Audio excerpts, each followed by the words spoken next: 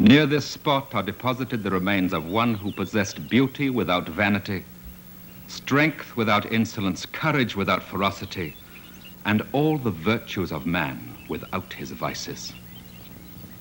This praise, which would be unmeaning flattery if inscribed over human ashes, is but just tribute to the memory of Boatswain, a dog born in Newfoundland, May 1803, and died at Newstead Abbey, November 18th, 1808. Lord Byron's tribute, perhaps the most eloquent of many to the gentle giants of Newfoundland.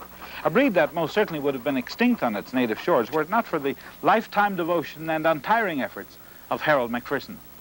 It was Harold Macpherson's struggle to preserve this enduring symbol of Newfoundland character and dignity, which placed him among yesterday's heroes.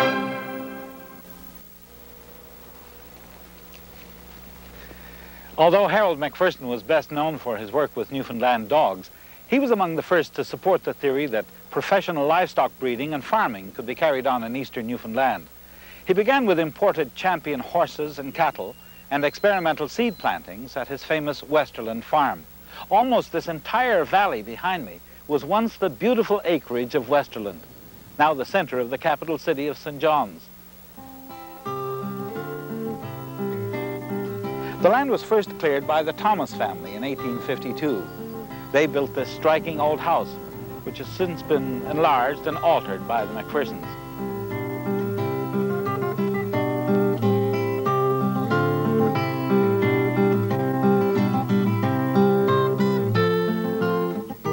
During the administration of Sir Robert Bond, himself a gentleman farmer, the Thomas land was turned into an experimental farm and model agricultural station. Bond's successors considered the enterprise to be a waste of money, and so in 1912 it was put on public tender and sold to Harold Macpherson for $7,500.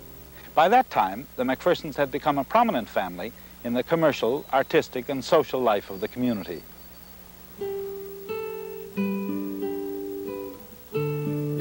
And Aunt Margaret was an accomplished artist in Europe. Cluny was a distinguished physician and inventor of the gas mask used by the Allies in World War I, and his son Campbell, a recent Lieutenant Governor of Newfoundland. An early member of the family was a well-known skipper in the west coast trade of Scotland, Alexander MacPherson, sailing out of Greenock, a lowland port for Glasgow. In 1804, his son Peter emigrated to St. John's as a clerk with a Scottish firm. He was sent to manage their store at Port de Grave and eventually took it over himself, establishing Peter Macpherson and Company. By 1900, the Macphersons owned the leading Water Street retail business known as the Royal Stores and numerous other enterprises throughout the country. As a man of means, Harold Macpherson could afford to indulge his love of farming and soon expanded Westerland from its original acreage, importing championship horses and cattle as breeding stock and experimenting with seeds and fertilizers suitable for Newfoundland's sparse soil.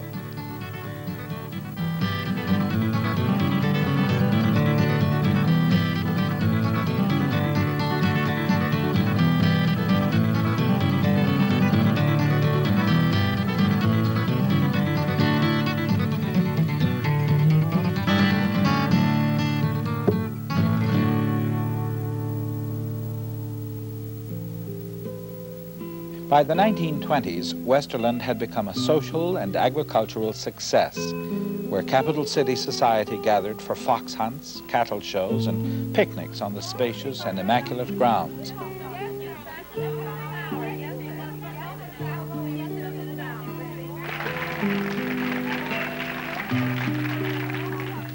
With horse races on the frozen surface of nearby Quidi-Vidi Lake. It became a financial success also, as Harold Macpherson demonstrated championship stock could be bred in Newfoundland and distributed throughout the world.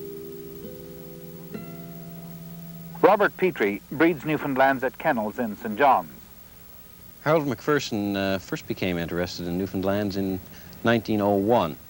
The government at the time wanted to present a suitable gift to the Duke and Duchess of Cornwall, and a committee was formed to find a Newfoundland dog and cart. Harold uh, Macpherson was on that committee at the age of 17. Harold was appalled that at the great lack of Newfoundland dogs available of quality. And uh, he started breeding. Um, in 1910, he took a dog that actually passed through St. John's. It was a dog being sent to Sir Wilfred Grenfell by Earl Grey. The government had asked uh, Harold Macpherson to look after the dog for the winter. He bred this dog with a number of his bitches and basically started the good, purebred Westerland line. Gradually, Harold Macpherson's passion for breeding championship horseflesh was replaced by his consuming desire to re-establish the Newfoundland dog on its native shores as the best bred of its kind in the world. But first he had to answer the question, was Newfoundland really the native shore of this magnificent canine? The earliest traces of dogs were found on the island by Dr. Jim Tuck and his team of archaeologists from Memorial University near the settlement of Port Choix in 1975. Uh, radiocarbon dates from that grave are just about 4,000 calendar years old, so it's somewhere around 2000 BC. The dogs probably weighed somewhere around 20 kilograms, say 45 pounds at the most. So I think unless there were some awful significant genetic changes between 4,000 years ago and today, or whenever Newfoundland dogs first appeared, it doesn't look as though we can demonstrate any relationship between the two breeds of dog. Given selective breeding, they certainly could have changed into these uh, larger dogs that we recognize as Newfoundland dogs. Whether there was any selective breeding or not, we simply don't know until we get some good skeletal evidence between 4,000 years and, you know, a few hundred years ago. If Dr. Tuck could find no connection between the dogs and his discoveries and the Newfoundland, there were plenty of other theories as to how this aristocrat's ancestors came to these shores. In 1615, for example, Captain Richard Whitbourne, returning to Exmouth, wrote of his experiences in the New World. The wolves and the beasts of Newfoundland, black and bear-like, came down near the seaside where the men were laboring with nets, howling and making a noise. My mastiff dog went with them into the woods and did not return until nine or ten days, and without any hurt. It is possible that Sir Richard's pet bred with a local animal, since later visitors report seeing large beasts resembling bears but having kindly dispositions. Harold MacPherson always believed that these chaps were descended from a dog called the Great Pyrenees, brought to Newfoundland on Basque whaling ships in the 1600s. In fact, Parks Canada archaeologists working off Saddle Island in Red Bay, Labrador in the summer of 1978 did discover the wreck of a 16th century Spanish vessel named the San Juan, confirming earlier evidence that the Basques had whaling stations in Newfoundland from 1500, and perhaps confirming Harold Macpherson's theory about their dogs. But his friend, Kitty Drury, a leading authority on dog breeds, always disagreed. Kitty is a past president of the Newfoundland Club of America and lives at Saranac Lake, New York. I first met Harold Macpherson in 1928 in Boston with my second Newfoundland, which was imported from England. My first Newfoundland, strangely enough, came from Newfoundland itself. And it was one of Harold's original breedings of a pointed nose, curly coated type of Newfoundland. Harold was judging at the time in Boston. Then I didn't see Harold for about 15 years. And my husband and I came up here to research the breed. And Harold was one of those that helped us in the writing of the book because he had such tremendous knowledge of the breed. The name of the book is This is the Newfoundland, and it was published originally in 1954. And we visited Harold here at the house, and we saw the dogs that he had. And from then on, it was a friendship that developed very rapidly. And all Newfoundlanders, you know, love to argue and debate about things. And I'm the same way from New, from New England. And we used to debate about things in hot and heavy. But we ended up knowing that this was the greatest dog in the world and just loved each other. Pyrenees, I think, has no relation to the Newfoundland at all. The Pyrenees dog came from different dogs on the continent of Europe. And remember, they are a pure white dog. if they did go back to the Pyrenees, they would have to have double dew claws, which are little bones that come out on the rear legs. And they would also have a wheel to the tail, which is typical of the Pyrenees breed. They also have what we call a bear-like head, which is not at all like the Newfoundland head. So we feel that in the long run, we have proved that it does not go back to the Basque dogs or the Great Pyrenean dogs, but it goes back to the English setter. My basic theory of the Newfoundland dog is that he comes down from the northern breeds that were big, heavy-set dogs. You find them, the um, uh, Norwegians had these big dogs.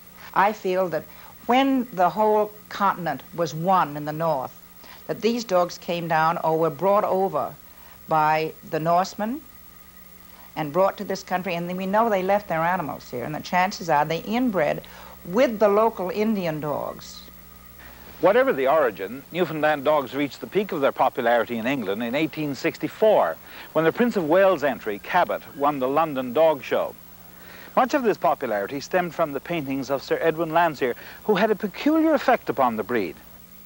One theory is that when he started painting these big black dogs, he just couldn't get the dog. He said it was too black. He couldn't get the glossy coat.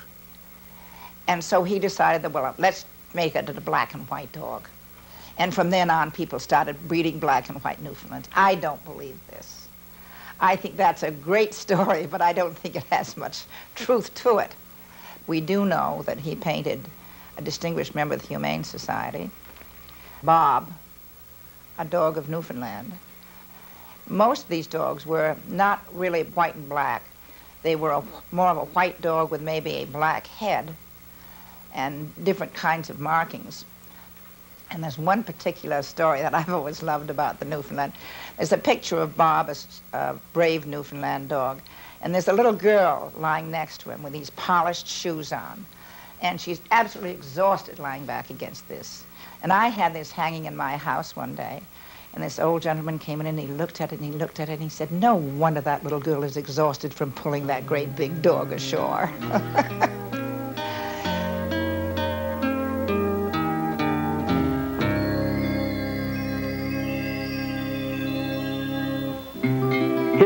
result of that crossbreeding to match the famous portrait.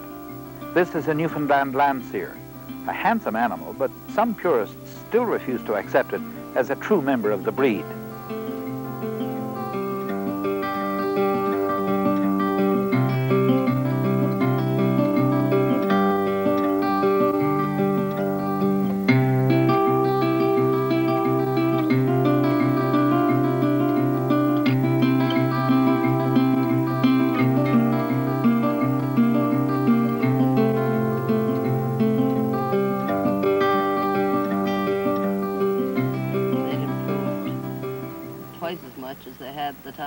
And Megan Nutbeam are the foremost breeders of Newfoundlands in the province today. Landseer, that's a created dog. Um, firstly, we we dedicated ourselves to, to doing what we could to expand the existence of Newfoundlands, the original Newfoundlands in Newfoundland. Uh, and secondly, um, breeding Landseers, it doesn't interest us. Primarily, we wanted to we wanted to do keep something, the keep the original Newfoundland in Newfoundland. This is Rito. He's still young, but I think uh, he needs to fill out a shade more. But uh, we think he's one of the best dogs we've bred. He is, he is the right height. He is the, exactly the right conformation. He has good bone. He's got good movement. He is a good representative of the breed.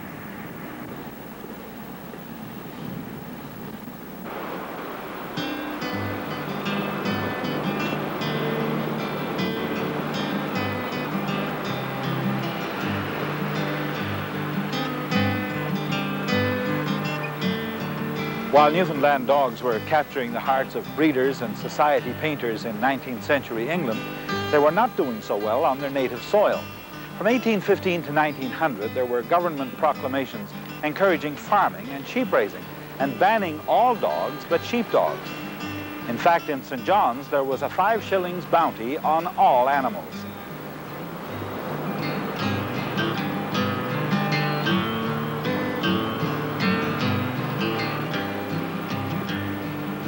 With the onset of the Great War in 1914 and its consequent food rationing, raising these great beasts became an unpatriotic excess in Great Britain. By the time Harold Macpherson came to the rescue, there were few dogs of quality to be found in Newfoundland, and their once great popularity in England and on the continent had vanished, to be replaced by the heroes of the newly popular Hollywood films, the German Shepherd, the St. Bernard, and the Collie. In 1927-28, Harold went to the Westminster dog shows in New York, and he had a rather interesting win, a fourth place this was his first real start in the world of Newfoundlands and showing. Harold Macpherson's first win for his dog Westerland Flora in the 1928 show of the prestigious Westminster Kennel Club of New York in one stroke restored the Newfoundland to its previous popularity. Credit native breeds. In all likelihood, the native Newfoundland was greatly refined after being imported into Britain during the early part of the 19th century. The breed was presumably built for working in all weather and in water. I pointed out earlier that Mrs. Drury uh, had bred Newfoundlands. She uh, and Major and Mrs. Godsell uh, were among the pioneers of... Important breeders from all over the world besieged Harold and Flora for pictures and paw shakes. Well. And soon after his return, Westerland was flooded with their requests for puppies and information on the breed. And kennel owners began to announce with pride that my dog is a real Newfoundland. Harold Macpherson spent the next 15 years traveling to shows and writing articles and giving speeches extolling the virtues of his favorite dog. But perhaps the most exciting moment came when his Westerland Sieger was featured on the 1931 14-cent Newfoundland stamp, and six years later on another, next to King George himself.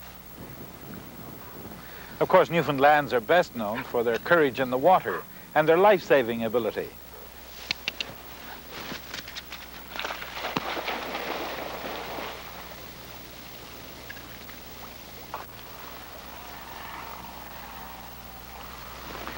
Harold Macpherson told a story of taking his first Newfoundland, an 80-year-old named Oscar, to see a train for the first time. The animal was terrified at the machine and thinking that his master was in trouble and in danger, he charged it and of course was injured. Well, he did recover, but he was unable thereafter to distinguish between friendly and unwelcome guests and so spent the rest of his life in restrained but honorable retirement at Westerland.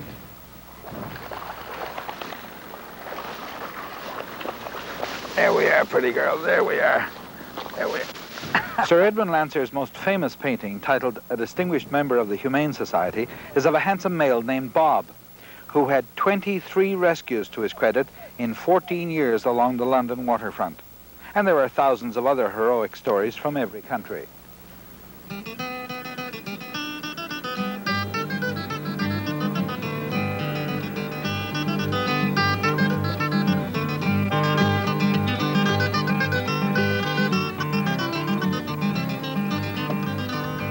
Now, we don't know whether it's true or not, but I have heard that the Newfoundland coat also has more air sacs in it than an ordinary coat. Whether this is true or not, I don't know. But it is true that when you see a Newfoundland dog swimming, their whole back is usually along the top of the water, while your German Shepherd or your Terrier is going through the water, the Newfoundland's going on top of the water. Most dogs uh, paddle in a dog paddle. You've heard of the dog paddle. Newfoundland usually paces. And this keeps its top level with the top of the water. Powerful swimming dog.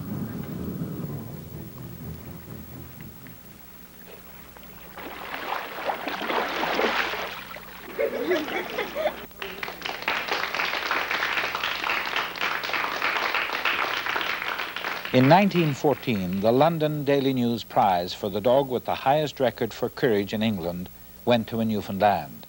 And the dogs gained fame for saving not only humans, but another famous rescue breed in Europe. In the early 1800s, the St. Bernards, of course, as you know, were at the hospice and were these great rescue dogs. They went out and they brought people in and they traditionally had the flask around their neck. But they were losing, losing their stamina. They were inbreeding these dogs and they were getting rangy dogs, dogs that did not have the intelligence. So they decided we had to bring something in. So they imported two Newfoundlander dogs, they called them. They bred these dogs to those St. Bernards. And it was from that day that you find, and still to this day, long-coated St. Bernards. And those long-coated St. Bernards we know go back to the Newfoundland cross that was made. And this has been authenticated. Newfoundland's confederation with Canada brought some controversy to Harold Macpherson in Westerland. The new livestock registration rules demanded that purebred dogs be nose printed or tattooed. He insisted that nose printing was impossible because of the natural wetness of the nose, and that tattooing was cruel and unnecessary if the papers were properly filed.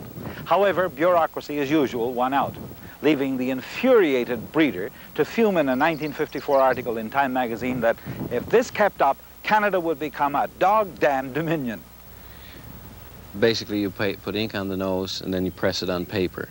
The difficulty with that is that in order to trace a dog with a nose print is that you have to compare like fingerprints and that is expensive and time consuming. The simpler method is tattooing the ear. Uh, in horses uh, at the time the lip was tattooed and I think this is where Harold felt that the dog would be maimed if the lip or the ear were tattooed.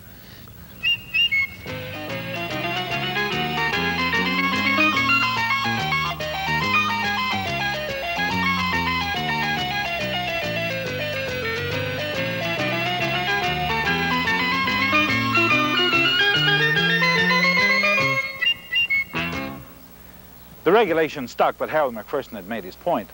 His work encouraged younger men to begin breeding and showing the native dog. Among the first was Hugh Baird, who produced the grand champion Newton, consistent winner of best of breed citations. And there followed Don Mercer and Harold Duffett, and today the Nutbeams of Harbor Grace and Bob and Jacqueline Petrie, whose dogs were featured in our program. But it was Harold Macpherson who had the energy, means, and interest to rescue from virtual extinction this noble symbol of local character and dignity. This hero of today salutes him as one of yesterday's. I'm Harry Brown. I'll see you next week.